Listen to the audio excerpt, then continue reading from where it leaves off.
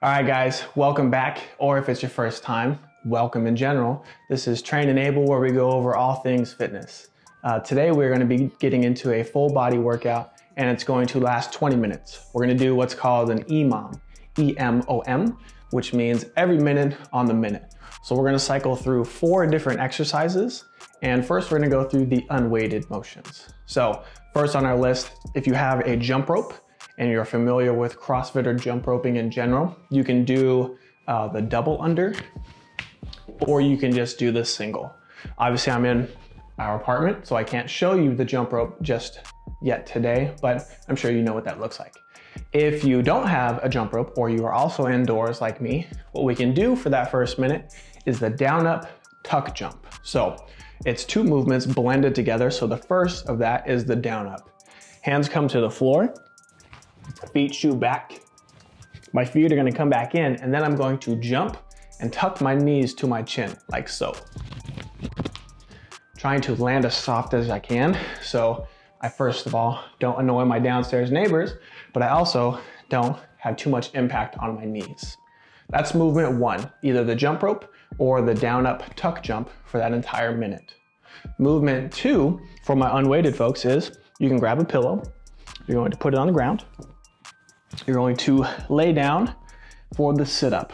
So we can go feet planted or the soles of our feet can come together to get a little more into those lower abs. So what we're gonna do is lay down over that pillow, arms go over my head, yeah, big judo chop. I'm gonna touch the ground in front of my feet, okay?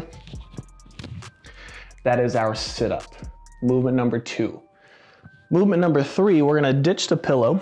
We're gonna come back to standing. We're gonna do the lunge, lunge, squat. Exactly what it sounds like. Big step forward, everything comes straight down to the ground. I step up, lunge on the other side. Once I've done the lunge, lunge, up next, of course, is the squat, okay?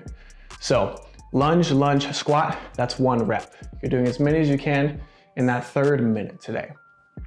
Last minute, we're gonna have a little bit of fun. I feel like everybody's done the burpee, but we are going to do the reverse burpee. Sometimes people call it a deck squat or a candlestick roll, but here's what it looks like. I'm pretty much going to descend into a squat. I'm going to roll on my back, then I'm going to stand, jump. If you're like, good Lord, that looks like a whole lot of fun. And by fun, difficulty, you can just do the normal burpee, which is where we lay down on our stomach, stand up, jump. So those are my options for our unweighted folks. For our weighted options, uh, we're still gonna do the down up tuck jump or the double under. But for the sit up, if we have a dumbbell or a book, water bottle, whatever you wanna use, you're gonna hold on to one. And we're gonna do the sit up with some additional weight.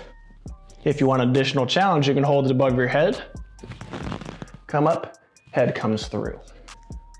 For the lunge, lunge squat, we can also introduce this weight, but we're gonna have it on the shoulder. It's also probably worth noting that we can go backwards with the lunge if that's more comfortable for us. Okay? So, this is for maximum reps across those 20 minutes, cycling through those four different movements. Hope you have fun. Like, comment, subscribe, send it to someone else, and I will see you guys tomorrow for our next one. Infinite one. Infinite one.